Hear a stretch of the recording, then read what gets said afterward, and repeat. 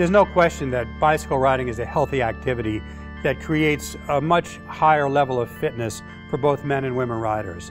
But there are potential problems.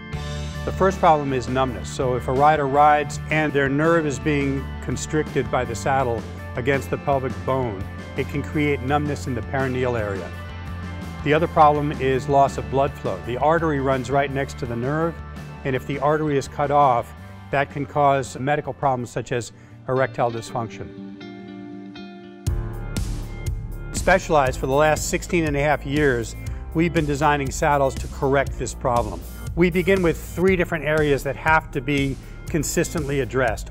The first one is blood flow, and that's especially important for male riders.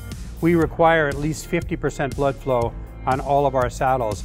The second one is pressure mapping for women riders to make sure that we take the pressure off the soft tissue that creates both numbness as well as urinary and sexual problems for women.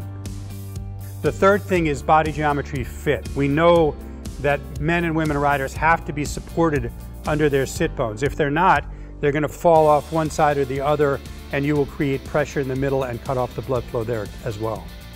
The cutouts are very important and a lot of saddles look like body geometry saddles. But when we measure our blood flow and our pressure mapping, we find that even a millimeter difference in the shape of a cutout can either cut off the blood flow or create high pressure.